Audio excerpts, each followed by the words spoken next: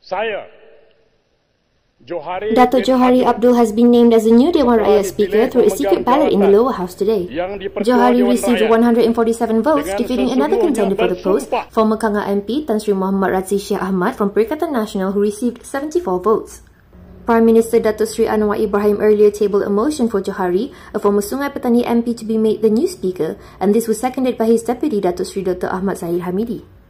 Larod MP, who was recently named opposition leader Datuk Sri Hamzah Zainuddin, proposed Muhammad Razzi for the post. His motion was supported by PAS Secretary General Datuk Sri Taqiyuddin Hassan. As soon as taking over the new post, Johari took an oath as a new Dewan Raya Speaker and addressed the House.